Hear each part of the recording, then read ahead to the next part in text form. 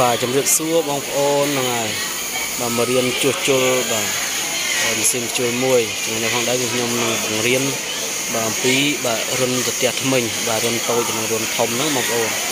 ហ្នឹងហើយនេះរុនធំហើយខាងនេះរុនតូចហ្នឹងហើយអញ្ចឹងកាលណាដេទៅញញញហ្នឹងហើយដេញញញដុំចូលទៅខាងក្នុងរុនហ្នឹងគឺបាទមកពីរុនធំពេកហ្នឹងហើយ ដូចជាសាច់កណាត់ស្ដើងហ្នឹងហើយស្ដើងទន់ទន់ហ្នឹងគឺដេទៅគឺវាត្រូវតែញញតែម្ដងហ្នឹងដេត្រូវតែញញចូលទៅក្នុងរុនតែម្ដងហ្នឹងដេឡើងដុំដុំតែម្ដងអញ្ចឹងយើងត្រូវធ្វើវាម៉េចគឺយើងត្រូវធ្វើបាទគឺដូរផ្ទះថ្មិញវាដូរដូរផ្ទះថ្មិញវាហ្នឹងដាក់បាទផ្ទះថ្មិញបាទរុនតូចហ្នឹងហើយដាក់រុនតូចហ្នឹង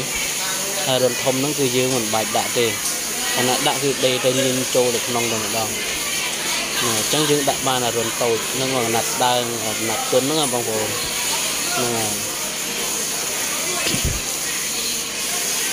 អញ្ចឹងខ្ញុំដូរដាក់ហ្នឹងហើយដូរដាក់អារុនតូចហ្នឹងហ្នឹងហ្នឹងដាក់អារុនតូចហើយដាក់ហើយខ្ញុំនឹងសាកឲ្យបងប្អូនមើលដេទៅមិនហើយអាធំនេះគឺយើងអត់ដាក់ទេដាក់អត់កើតទេដាក់ទៅដេញញចូលតែម្ដង ឥឡូវសាកបងដេទាំងអស់គ្នាដាក់ហើយ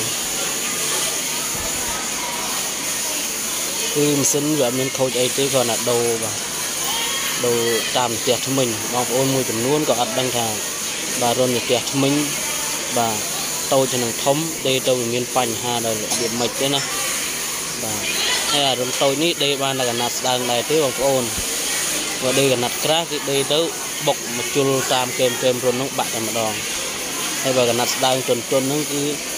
ដេទៅគឺស្រួលដេតែម្ដងហើយដូចជាអរុនធំឯជាដើមអញ្ចឹងគឺ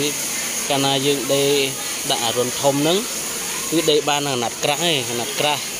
បាទណាត់ក្រាស់គឺដាក់ដេទៅស្រួលតែម្ដងអត់បាក់ជុលអត់អីទេហ្នឹងកណាត់ក្រាស់តែនេះកណាត់ស្ដើងអញ្ចឹងយើងដូរដាក់ផ្ទះមិញដាក់អរុនតូចហ្នឹងហ្នឹងឥឡូវឲ្យ បើឲ្យបងប្អូនកម្មករយើងសាក់ឲ្យម្ដងណាតែមួយគាត់អាចសាក់ដេកកើតដែរឬមួយក៏អត់ណាហើយចាំតាមដានទាំងអស់គ្នាបាទហើយតាមដានវីដេអូនេះហើយកុំភ្លេចចុច Subscribe ម្នាក់មួយផងបាទដើម្បីទទួលបានបាទវីដេអូបាទមេរៀនជាងម៉ាស៊ីននេះថ្មីថ្មីទៀតបាទទៅមុខទៅមុខទៀតចឹងណាបងប្អូនម៉ាស៊ីនផ្សេងផ្សេងវាខូចផ្លែកផ្លែកអីចឹងណា ហ្នឹងហើយហើយមានដូចតែការខូចផ្លែកផ្លែកឬការជួសជុលអីផ្លែកផ្លែកគឺខ្ញុំតែងតែបង្ហោះហ្នឹងហើយបង្ហាត់បង្រៀនបងប្អូនបាទនៅក្នុងបាទ YouTube តែម្ដងដើម្បីឲ្យបងប្អូនអឺកកក្រោយដែលគាត់ទៅបង្រៀនហ្នឹងឲ្យគាត់បាទចេះ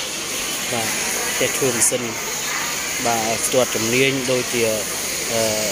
ប្រទេសនានាទៀតគេបរៀនហាត់បង្ហាត់បរៀនគ្នាណា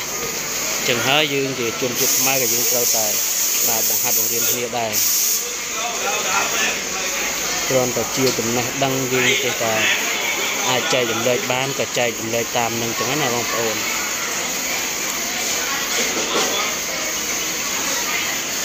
ហើយខ្ញុំក៏សង្ឃឹមថាបងប្អូនប្រកាសជាមានទឹកចិត្តដូចខ្ញុំដូចគ្នាបងប្អូនមួយចំនួនទៀតក៏មានទឹកចិត្តបាទបង្ហាត់បង្រៀន បាទទោះបីមិនបានបង្រៀនផ្ទាល់តែអាចបានបង្រៀននៅក្នុង YouTube នេះក៏ជាចំណេះដឹងមួយសម្រាប់ឲ្យគាត់ស្វែងយល់បាទ